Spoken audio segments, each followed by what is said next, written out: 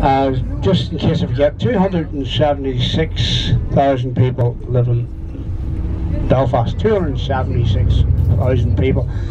Not a big population. Um, uh, population of Northern Ireland is about, what,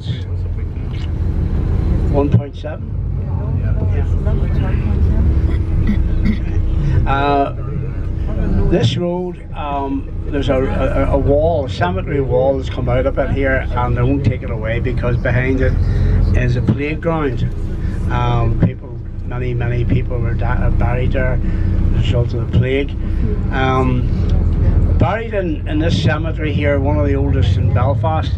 In fact, this is like a, a, a monastic site. If you look at very old uh, maps, you'll see uh,